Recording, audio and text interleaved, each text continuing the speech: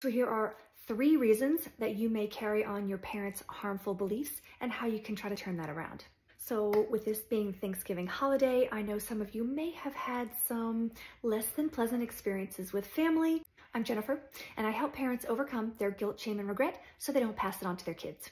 One, your first impressions, interactions, and memories of your parents are from when you're really small. And so with you being way down here and they're being up there like giants, it created this sort of unconscious hierarchy. You're down here, they're up here. So try and change that dynamic to see your parents and yourself on more of a level ground.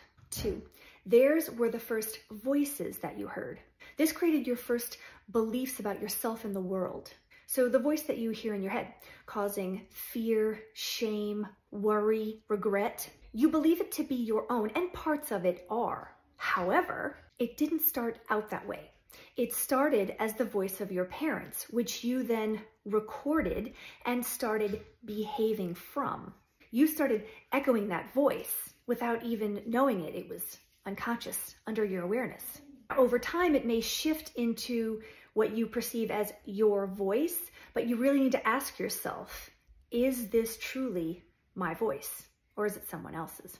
Three, behaviors, actions, and reactions, they were modeled to you at a very young age. You recorded those. You were exposed to these things repeatedly, and even though you may not have understood them at the time, your brain fills in the gaps. Even though this all happens unconsciously, it still affects how you live in the present. So again, ask yourself, are these behaviors, actions, reactions, and beliefs truly mine, or are they someone else's? I wish you all good things and happy parenting.